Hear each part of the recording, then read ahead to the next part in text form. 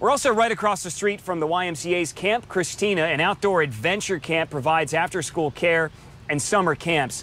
This is impressive too. It sits on 65 acres. Kids have the opportunity to do everything from fishing, canoeing, horseback riding, even zip lining and archery.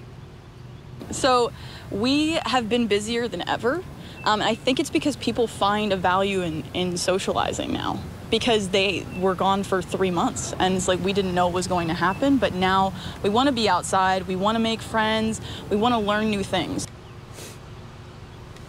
You can learn more about camp Cristina and all they offer on abcactionnews.com slash riverview